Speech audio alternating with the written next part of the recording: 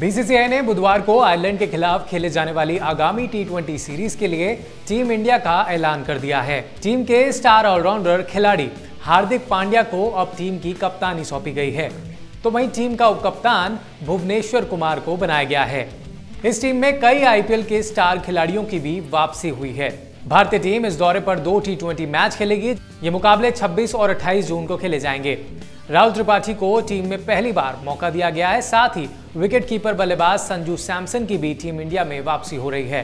दक्षिण अफ्रीका के खिलाफ खेली जा रही टी सीरीज़ में के राहुल के चोटिल हो जाने के बाद ऋषभ पंत को टीम की कमान मिली। टीम का उपकप्तान हार्दिक पांड्या को बनाया गया।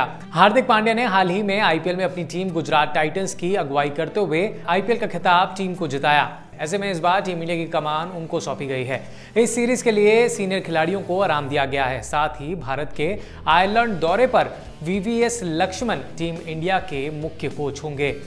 इसके साथ ही नेशनल क्रिकेट अकादमी के कोच सितांशु कोटक, साईराज बहुतुले और मुनीश बाली भी सहयोगी स्टाफ का हिस्सा होंगे।